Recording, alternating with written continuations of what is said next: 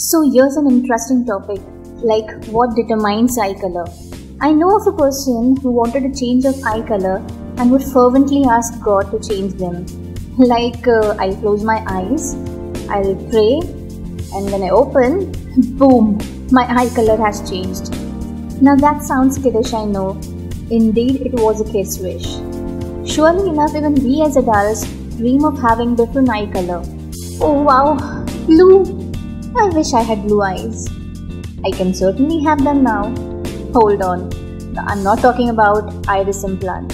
That's super risky. Contact lenses is the answer. So what's with these different shades of natural eye color you see around? Is there a sheet of grey, blue or maybe green inside our eyes? Nope. It's all the play of melanin, a pigment found inside the iris. Iris Yes, the colored part of the eye. You'll be surprised to know there are 7 types of eye color. We'll get to it in the later part of the video. So, there's nothing like green or blue pigment ever present in the eye. It's the same melanin we all have. It is related to the amount and quality of melanin in the front layer of the iris.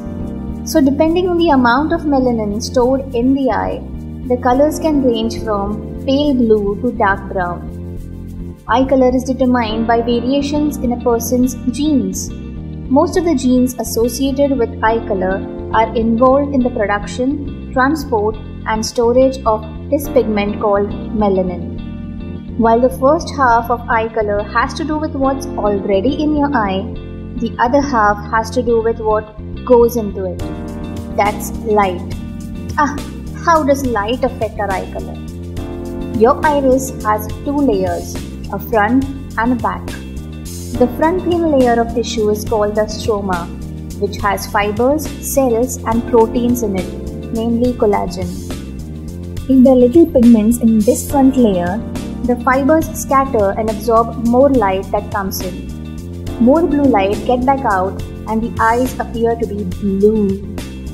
It's the same dynamic that makes water in an ocean look blue.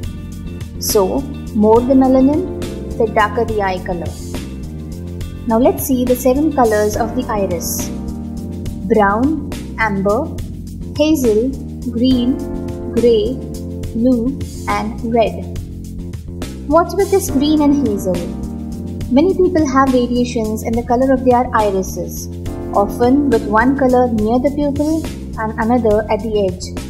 This variation happens when different parts of the iris have different amounts of pigment in them. The result green or hazel. Oh, wait, did I say red? Yes, I did.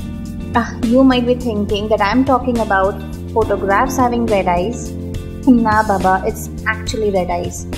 This occurs when the back layer of iris doesn't have melanin at all.